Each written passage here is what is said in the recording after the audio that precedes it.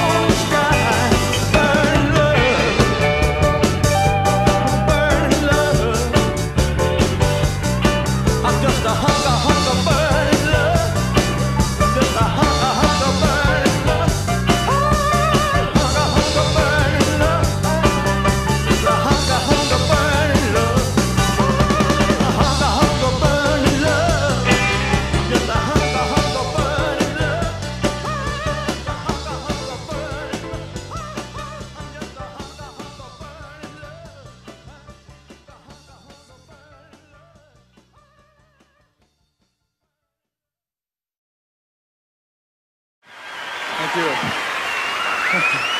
Thank you. Thank you very much.